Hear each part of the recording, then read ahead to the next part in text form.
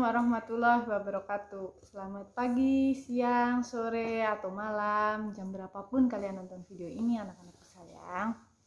Gimana kabarnya kalian hari ini? Semoga kita sekeluarga selalu diberi kesehatan dan terus semangat belajar. Rasanya senang sekali ibu bisa menyapa kalian lagi dalam program pembelajaran jarak jauh TV UPI Edukasi Generasi. Tentunya dalam mapel desain grafis percetakan Oke, di video kali ini kita akan belajar mengenai gambar bentuk. Gambar bentuk merupakan sebuah teknik menggambar objek atau benda yang ada di sekitar kita dengan tepat atau objektif. Artinya, di dalam menggambar kita berusaha menampilkan arah pandang, keadaan benda, dan tata cahaya sesuai dengan kondisi yang sebenarnya. Ada tiga, tiga, ada tiga macam bentuk yang pertama, kubistis. Kubistis merupakan benda-benda yang bentuk dasarnya kubus atau balok. Yang kedua, silindris. Silindris merupakan benda-benda yang bentuk dasarnya silinder atau bulat.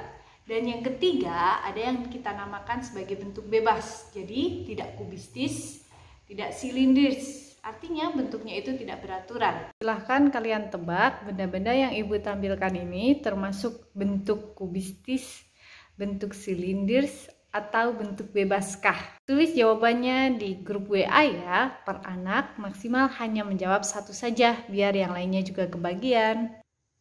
Oke, nanti Ibu bakal lihat siapa aja yang sudah menjawab pertanyaannya di WA Group dan siapa aja yang sudah menjawab pertanyaannya dengan tepat. Selanjutnya, kita akan membahas mengenai teknik menggambar bentuk. Ada tujuh. Oke, ada tujuh teknik yang akan kita bahas di sini. Yang pertama, teknik linier. Teknik linier merupakan cara menggambar objek gambar dengan garis sebagai unsur yang paling menentukan. Yang kedua, ada teknik gambar blok. Teknik gambar blok merupakan cara menggambar dengan menutup objek gambar menggunakan satu warna. Jadi nampak seperti siluet. Teknik gambar yang ketiga dinamakan teknik gambar arsir. Teknik arsir merupakan cara menggambar dengan garis-garis sejajar atau menyilang untuk menentukan gelap terang objek gambar. Yang keempat, ada teknik gambar dusel. Teknik Dussel merupakan cara menggambar yang penentuan gelap terang gambar menggunakan pensil gambar yang digoreskan dalam posisi miring atau rebah. Yang kelima, teknik gambar pointillis. Teknik pointillis merupakan cara menggambar yang dalam menentukan gelap terang objek gambar menggunakan pensil atau pena gambar dengan dititik-titikkan. Yang keenam, teknik gambar akuarel. Teknik akuarel merupakan cara menggambar dengan menggunakan cat air dengan sapuan warna yang tipis, sehingga hasilnya tampak transparan atau tembus pandang.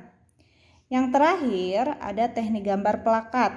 Teknik plakat merupakan cara menggambar dengan menggunakan bahan cat poster atau cat air dengan sapuan warna yang tebal, sehingga hasilnya akan tampak pekat dan menutup.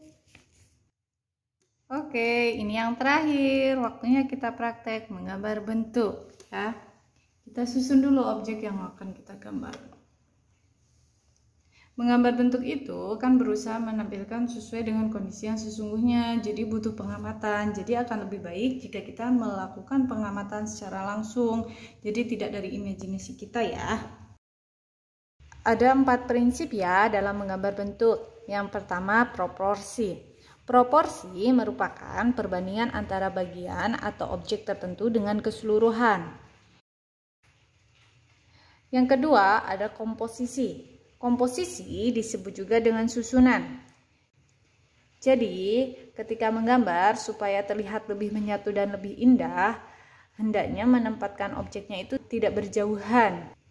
Selanjutnya, supaya lebih kelihatan realistis, ada prinsip gelap terang. Bagian benda yang terkena cahaya akan tampak lebih terang dan benda yang tidak terkena cahaya akan nampak lebih gelap. Terakhir, prinsip bayang-bayang. Sebuah benda yang terkena sinar dapat menghasilkan bayang-bayang. Bayang-bayang ini tentunya jatuh tidak jauh dari benda yang terkena sinar cahaya tadi. Oke, akhirnya Ibu beres ya gambarnya. Sekarang giliran Anda. Silakan gambar bentuk bebas aja, minimal dua benda ya. Lalu gunakan teknik apa yang paling Anda sukai. Nanti foto dan kirim ke WA grup. Oke, good luck ya. Semoga berhasil.